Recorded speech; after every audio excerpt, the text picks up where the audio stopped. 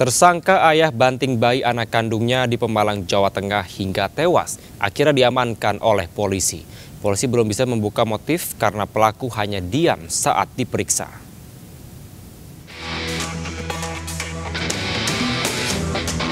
KA, ayah kandung dari bayi yang tewas dibanting di Pemalang, Jawa Tengah, akhirnya berhasil ditangkap polisi di Cirebon, Jawa Barat.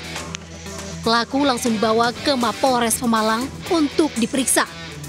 Sayang, polisi belum bisa membuka motif pelaku tega membunuh anak kandungnya sendiri lantaran pelaku hanya diam saat diperiksa.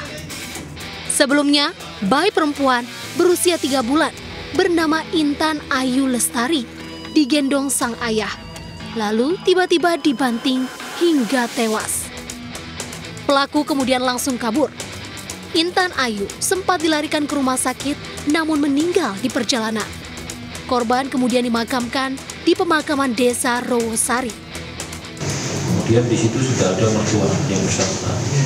Tiba-tiba yang bersangkutan ini pelaku ini memukul mertua.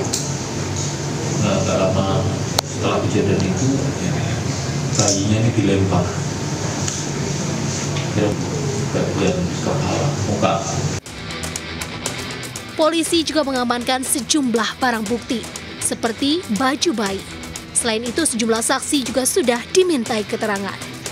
Dari Pemalang, Jawa Tengah, Suryono Soekarno, iNews melaporkan.